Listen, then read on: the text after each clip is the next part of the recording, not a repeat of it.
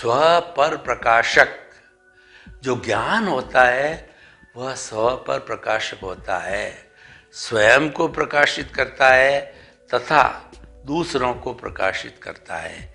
दीपक होता है, वह स्वयं को प्रकाशित करता है और दूसरों को प्रकाशित करता है। तो स्व पर प्रकाशक हमें बनना चाहिए और उसकी प्राप्ति करना चाहिए।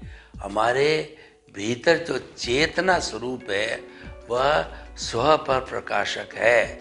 खुद को भी प्रकाशित करने वाला है, औरों को भी प्रकाशित करने वाला है। स्व पर प्रकाशक की पहचान करने के लिए हमें जो है, किसी ज्ञानी पुरुष की आवश्यकता होती है।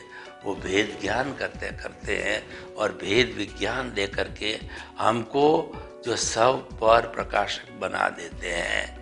तो स्व पर प्रकाशक के द्वारा हम दूसरों का उपकार करें, हम दूसरों का कल्याण करें, दूसरों को जो है हम भला बनने की प्रेरणा दें और उनको भला बनावें, ये सारा स्व पर प्रकाशक है। हमारी आत्मा स्व पर प्रकाशक है। स्व का अर्थ हो गया कि वो स्वयं प्रकाशित है और दूसरे को प्रकाशित भी करने वाली होती है।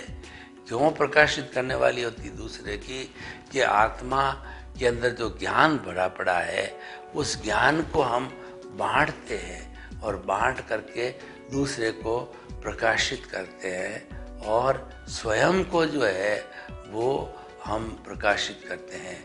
ये एक दीपक का स्वरूप है और दीपक के स्वरूप के रूप के अंदर जो है, इसको माना गया है तो हमें भी, हमारी आत्मा भी स्व पर प्रकाशक होने के कारण ये दीपक स्वरूप होती है, ज्ञान है, वो सारा स्व पर प्रकाशक होता है।